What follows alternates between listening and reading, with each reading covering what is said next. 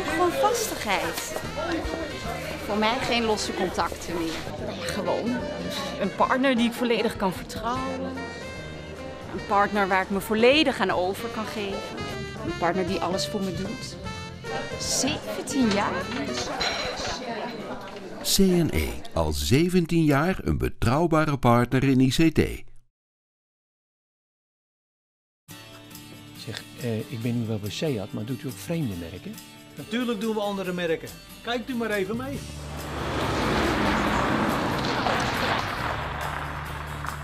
Bij Automaas gaan we af en toe vreemd. Welk type auto u ook rijdt, u kunt altijd terecht bij Automaas. Automaas, dichterbij dan u denkt.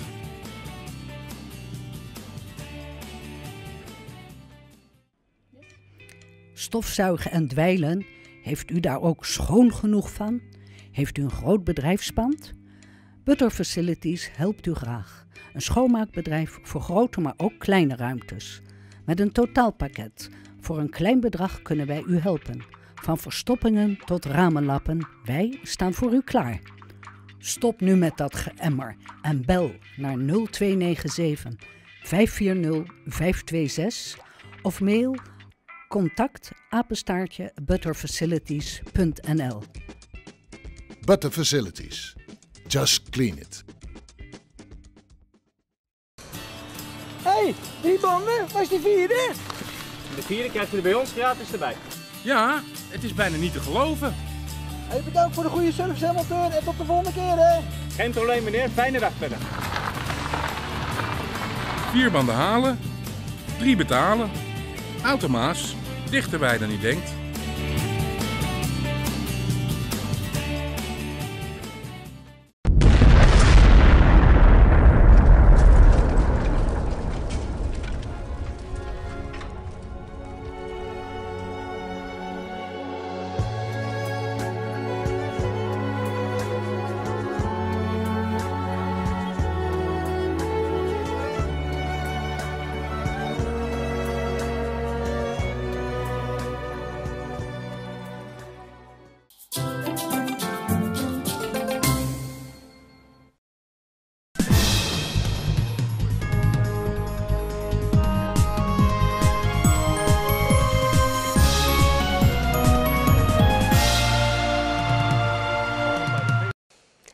Goedenavond, hartelijk welkom bij het journaal van 1 september op RTV A. Na een wat lastige technische start gisteren zijn wij vandaag weer bij u terug met een geheel nieuw journaal. Elke werkdag op het hele en halve uur te zien op kanaal 42 van Ziggo. We beginnen vandaag met de opening van RTV A. Wethouder John Levy startte gisteren de allereerste uitzending van het vernielde journaal van RTV A. Ook aanwezig bij de lancering was AT5, die met Bert Kuizinga en enkele vrijwilligers sprak. Na een hoeveelheid gezonde spanning en hard werken is het geheel vernielde RTVA van start gegaan. Meneer Levy, wat verwacht u van de, de nieuwe RTV Amstelveen? Heel veel. Als ik het enthousiasme zie, daarvoor de zender ook een, een tijd uit de lucht is geweest. Ik zie wat er allemaal hier intern al allemaal gebeurt, dus verwacht ik heel veel. En ik denk dat het... Uh, ik weet zeker dat het niet tot Amstelveen beperkt zal blijven, maar dat het geleidelijk aan Amsterdam zal worden. Want dat is immers jullie ambitie. Wat vond u uh, leuk aan de afgelopen jaren, de programmering van uh, RTV Amstelveen? Uh, wat ik plezierig vond, was dat er gewoon vaste momenten in zaten. Ook met nieuws. dus ik hoop en ik heb ook begrepen dat het zo blijft, dat het zelfs nog sterker wordt. Dat is eigenlijk wat je wilt bij een lokale zender. los van wat achtergrond wil je gewoon op een vaste tijd, een aantal keer op een avond, uh, het lokale nieuws kunnen zien. Ja. Uh, en ik moet zeggen dat jullie zeer ambitieus zijn om vijf dagen per week echt nieuw nieuws te, te, willen maken. Wat zijn de belangrijke dingen die we het komende seizoen voorbij zien gaan komen in het nieuws? Ja, het allerbelangrijkste, maar dat speelt om begin volgend jaar. In, op 19 maart zijn de verkiezingen. En je merkt dat er toch wel een bepaalde, bepaalde nervositeit inmiddels is bij een aantal partijen, bij een aantal politici over de komende verkiezingen. En ik denk dat jullie wat dat betreft een ontzettend leuk moment gekozen hebben voor deze herstart. Stichting Voedselbank Amstelveen viert vandaag haar vierjarig bestaan. Extra feest is het voor de organisatie omdat zij sinds kort gebruik mogen maken van drie schoollokalen in de voormalige school aan de Notenlaan. De gemeente Amstelveen biedt deze ruimtes aan omdat het aantal bezoekers alsmaar blijft stijgen. Woensdag 2 oktober is het feest voor de cliënten en kinderen. Zij krijgen dan poffertjes en andere hapjes en er is een loterij georganiseerd. Gefeliciteerd, de Voedselbank Amstelveen bestaat vier jaar. Maar is het bestaan van een voedselbank wel een felicitatie waard? Eigenlijk niet. Eigenlijk zou het niet nodig zijn. Maar ja, we zien dus in deze tijd dat het hartstikke nodig is. En het wordt alleen maar erger. Dus, uh, maar het, is geen felicitatie waard. Maar ja, we doen het wel vier jaar. Ook een reden voor dit feestje is dat u onlangs eh, drie nieuwe lokalen heeft gekregen waar u al uw spullen in kwijt kan. Uh, betekent dat dat de vraag is toegenomen in Amstelveen? Nou, dat is hij zeer zeker. Ik bedoel, we zijn, eh, in dit jaar zijn we verdubbeld. We zitten nu tegen de 70 klanten aan. 65, 70, want er zitten er een paar in de wacht. Dus die komen er ook nog weer bij. Maar het is zeer zeker toegenomen. En ik hoop, of tenminste ik denk, dat het, uh, dat het niet het laatste zijn. Want met die bezuinigingen die er nog aankomen, dan zal het best wel nog erger worden. Vier jaar geleden wilde men in Amstelveen eigenlijk niets weten van het bestaan van de voedselbank. Is dat veranderd? Uh, nou, dat is zeer zeker veranderd, want vandaar ook dat we nu deze lokalen erbij gekregen hebben, omdat ze dus zelf ook mensen vanuit de gemeente hier naartoe sturen. En we hebben gelukkig een hele goede band met de gemeente, dus we kunnen nu een beetje communiceren van uh, hoe gaat het met die en we kunnen dus kijken of de mensen echt in aanmerking komen voor een voedselpakket. En dat is natuurlijk heel fijn.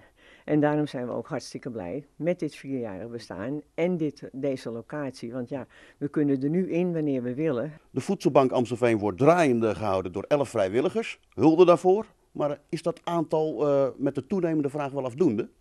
Nou, voorlopig is het hartstikke voldoende. Maar ja, je weet het nooit. Dus als er mensen zijn die eventueel willen, hartstikke graag. Okay. Tot slot, hoe lang hoopt u dat de Voedselbank nog bestaat? Nou, het liefst tot morgen. Dan zijn we er vanaf en dan hebben de mensen geen behoefte meer om naar de voedselbank toe te gaan. Maar dat is de vraag. Vandaag ondertekende wethouder John Levy een nieuw contract voor de verwerking van het restafval van Amstelveen met afvalenergiebedrijf Amsterdam. Het contract is getekend voor de duur van 10 jaar. De kosten voor de verwerking van het restafval dalen hiermee van 80 euro naar 65 euro per ton afval. Eerder dit jaar wees de Amstelveense gemeenteraad de wethouder terug naar de onderhandelingstafel voor een nog betere deal. Dat is helaas niet gelukt. De afvalverbrandingscentrale van Afvalenergiebedrijf staat bekend als een van de modernste, schoonste en milieuvriendelijkste ter wereld, die restafval omzet in duurzame energie en warmte. Wat heeft u nu net ondertekend? En, we hebben net een contract ondertekend voor Amstelveen met het afvalenergiebedrijf in Amsterdam. Voor een periode van 10 jaar vanaf 1 januari 2013.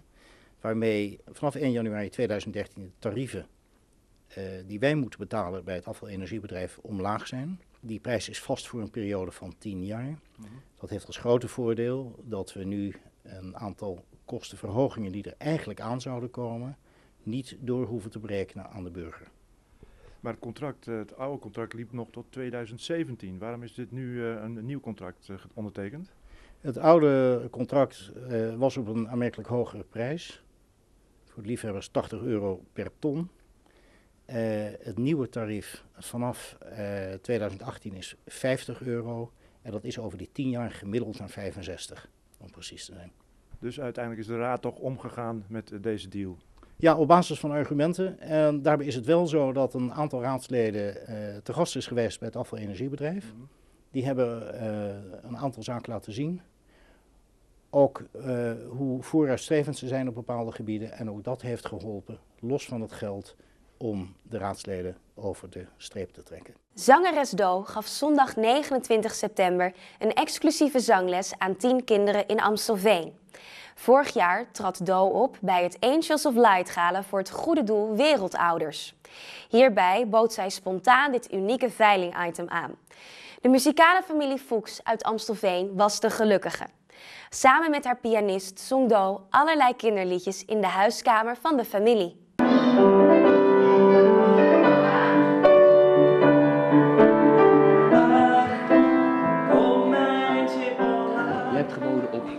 Van Do. Ja. Waarom? Vertel eens. Ja, in december waren wij bij het uh, Gala van Wereldouders. Uh, een goed doel, uh, waren we op uitnodiging van vrienden van ons. En daar trad Do op. En wij vonden Do altijd al een fantastische zangeres. Alweer een jaartje geleden heb ik een, een veilingkavel, zoals dat heette, beschikbaar gesteld. Voor het Angels of Light Gala. En... Um, nou, de bedoeling was dat er natuurlijk zoveel mogelijk geld opgehaald werd voor die stichting, voor allemaal kleine kindjes.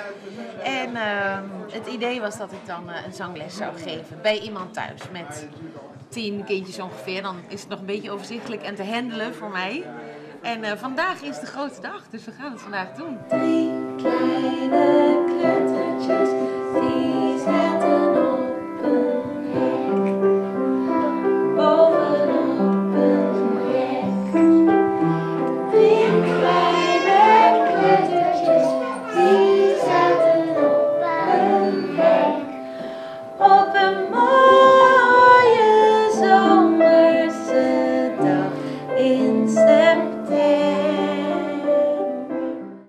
kinderen hebben een geweldige middag gehad en zo te zien heeft Doos ongeboren kind ook heerlijk meegenoten. In de ochtend van 30 september is cabaretier en stand-up comedian Dara Faici overleden in het ziekenhuis Amstelland. Dit bevestigt zijn management. De 25-jarige Amstelveener won in 2010 zowel de jury als publieksprijs van het Groninger Studenten Cabaret Festival en stond bekend als een van de meest veelbelovende cabaretiers van Nederland. In 2012 maakte hij zijn eerste programma Gevaarlijke Gedachten, dat vol enthousiasme werd ontvangen. Tijdens een vakantie in het buitenland liep Faici een bacteriële infectie op, wat resulteerde in een dubbele longontsteking. Ziekenhuisopname mocht helaas niet baten.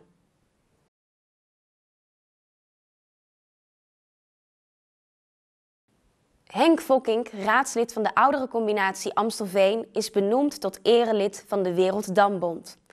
Het erelidmaatschap zal 25 oktober worden uitgereikt en is de hoogste onderscheiding die in de damwereld kan worden toegekend. Hij ontvangt de onderscheiding op voorstel van het bestuur voor zijn ontelbare verdiensten voor de internationale damwereld. En nu wordt u erelid van de Werelddambord. Hoe is dat? Verrassend. Uh, ik heb in 2010 heb ik mijn carrière beëindigd. Uh, ik heb ooit gezegd namelijk, uh, als arbiter moet je op 72-jarige leeftijd er het eind aan maken. Nou, in 2010 werd ik 72, dus heb ik gezegd van, ik stop ermee. En uh, ja, daarna heb ik niet zoveel contacten meer gehad met de Werelddambond. totdat ja, nu het voorstel kwam van bestuur en de algemene vergadering om eerlijk te maken. Nou, verrassend. Ik ben er heel blij mee, moet ik zeggen. Brenda Beukering, 43 jaar, besloot na de vele positieve reacties op haar blog en het ontdekken van haar passie voor schrijven een nieuwe stap te zetten. Het schrijven van haar boek De binnenkant van verdriet. Op haar 38ste werd zij plotseling weduwe van haar man Marco. Het waargebeurde verhaal neemt de lezer mee in haar strijd tegen alle emoties en keuzes die bij het verlies komen kijken. Kunt u wat vertellen over het boek uh, De binnenkant van verdriet? Ja, dat heb ik uh, geschreven na het overlijden van mijn man. Uh, inmiddels zes jaar geleden. Ik ben begonnen in een dagboek. Na twee jaar ben ik mijn dagboek terug gaan lezen. En ja, viel me op dat ik heel veel keuzes heb gemaakt. Heel veel emoties erin geschreven heb die eigenlijk niemand heeft gezien in de twee jaar dat ik uh, aan het overleven was. Toen ben ik om mijn boek heen gaan schrijven. Op aanraden ook van mijn omgeving. Van joh, schrijf het van je af. Er is zoveel gebeurd. En je schrijft ook leuk, dus wie weet. Dus eigenlijk een combinatie van mijn passie en mijn verdriet geprobeerd een droom te maken. En ja, dat ben ik allemaal op gaan schrijven. En juist ook van de buitenkant, ja, die kan er leuk uitzien. Maar niemand weet eigenlijk wat er in je omgaat. Je hebt niet alleen jouw verhaal geschreven, je hebt ook nog eens onwijs je best gedaan om dat boek via 10 pages met heel veel mensen te delen. En ervoor te zorgen dat er een startkapitaal kwam om het boek uit te geven. Ze hebben het boek uh, opengemaakt. Het waren anders sluitenboeken, zij hebben het boek opengeslagen. Ik vind het mooi, ik vind het leuk. Het is ook wel heel fijn dat iedereen er hier zo zeg maar is voor mijn moeder. Ja, het voelt ook heel vertrouwd hier. Omdat iedereen er hier is die ook wel een beetje heeft meegemaakt en die mijn moeder heeft gesteund. Je ziet het om je heen dat mensen dierbaren verliezen. En uh, ja, zij hebben gewoon een goede keuze gemaakt. Kinderen op de eerste plek, dat is nou wat ik al zei, dat is de basis. En vanuit daar, weet je, iedereen kan maar gestolen worden, dat moet goed zijn. En dan de rest komt wel. Je ontmoet iemand en je wordt verliefd op de. Uh, diegene heeft een bagage uh, bij zich.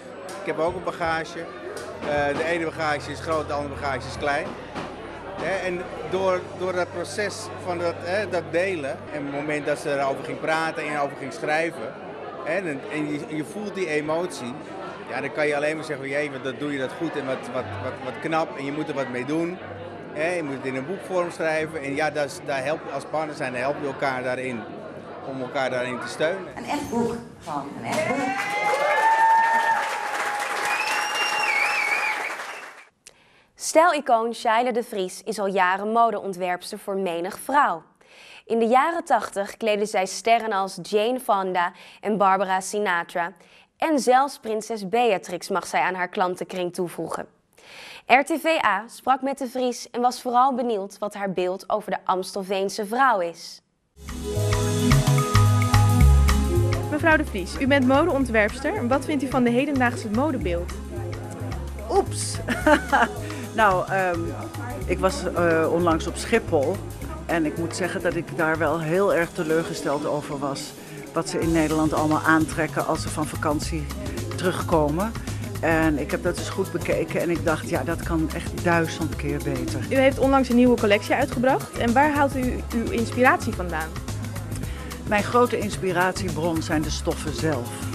Du moment dat ik een stof zie, dan weet ik onmiddellijk wat ik ermee moet. Soms zie ik hele mooie materialen, maar dan weet ik nog niet precies wat zou ik daarmee moeten. En dan heb ik geleerd in al die jaren niet kopen en laten liggen. En hoe vindt u dat de Amstelveener eruit ziet? De Amstelveener is netjes.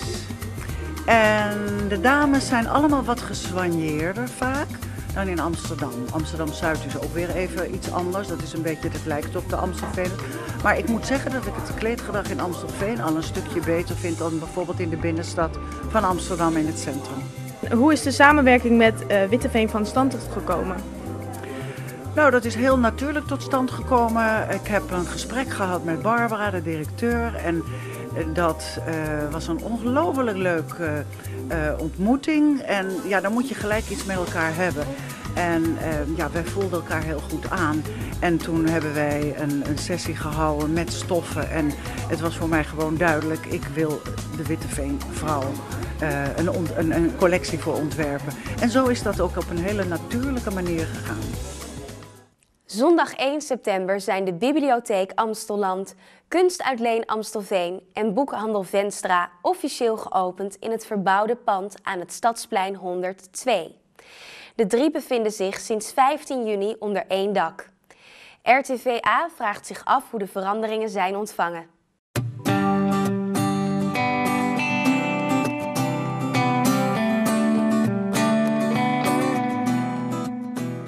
De bibliotheek is nu 3,5 maand open. Waarom is er eigenlijk verbouwd?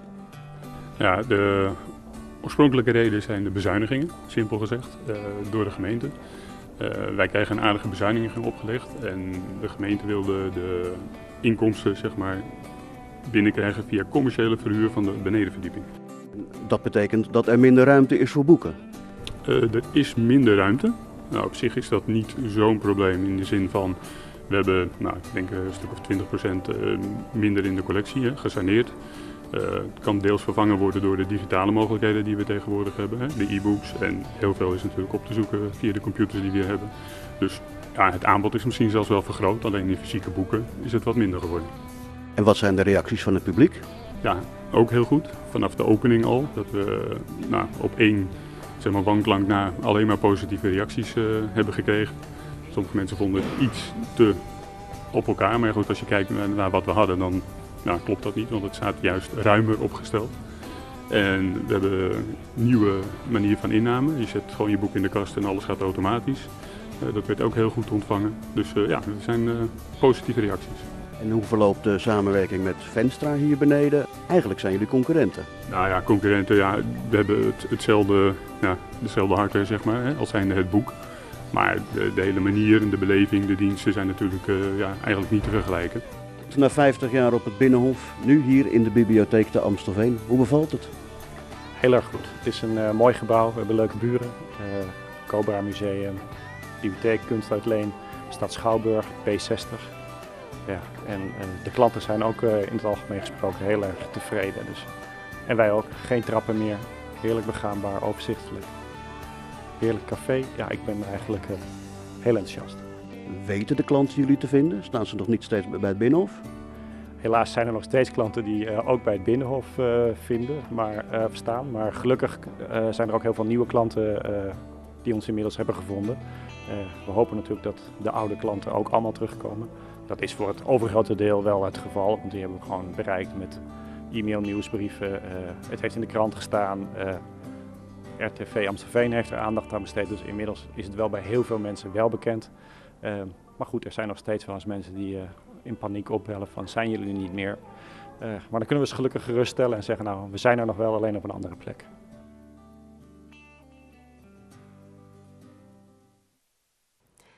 De schaatsbaan op het Stadsplein, een trekpleister voor jong en oud.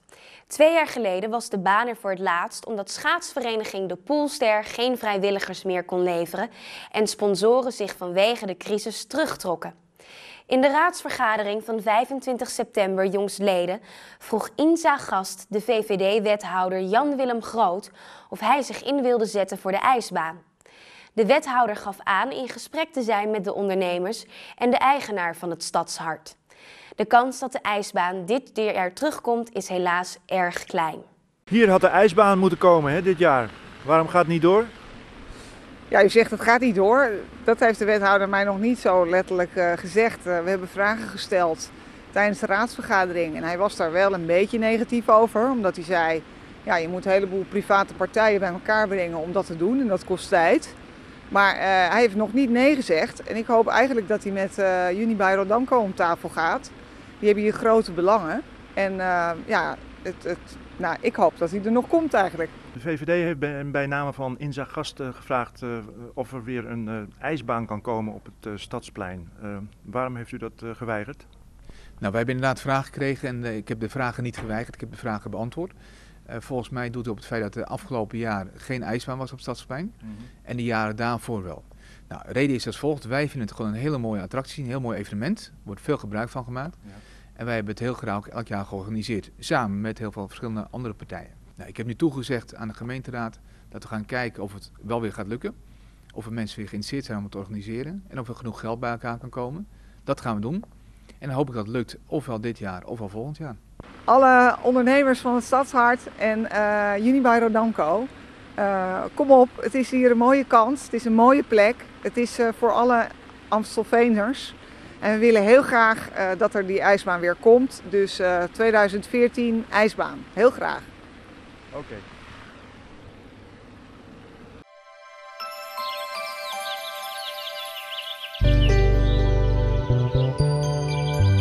Het weer. Vannacht blijft het overwegend helder en daalt de temperatuur naar gemiddeld 5 graden. Morgen laat de zon zich weer zien, maar komt er ook sluierbewolking voor. Met een koude wind wordt het niet warmer dan 16 graden. Donderdag is het de gehele dag licht bewolkt, maar blijft het droog. De temperatuur komt ook dan niet hoger dan 16 graden. Dit was het dagelijks journaal van RTVA. Wij hopen u morgenavond om 7 uur weer te verwelkomen op kanaal 42 van RTVA. Tot morgen.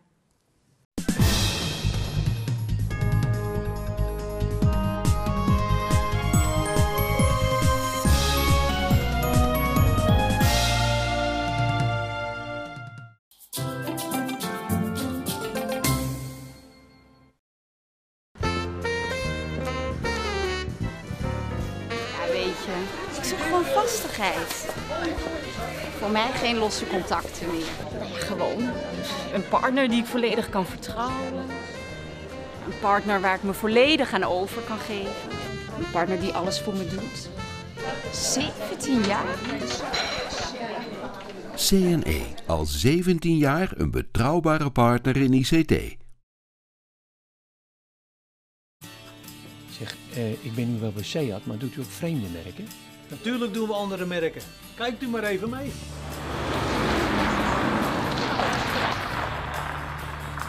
Bij Automaas gaan we af en toe vreemd. Welk type auto u ook rijdt, u kunt altijd terecht bij Automaas. Automaas, dichterbij dan u denkt.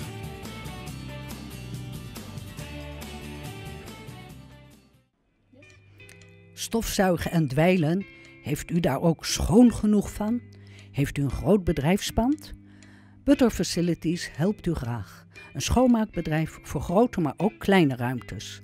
Met een totaalpakket. Voor een klein bedrag kunnen wij u helpen. Van verstoppingen tot ramenlappen, wij staan voor u klaar. Stop nu met dat geëmmer en bel naar 0297 540 526 of mail contact apenstaartje butterfacilities.nl.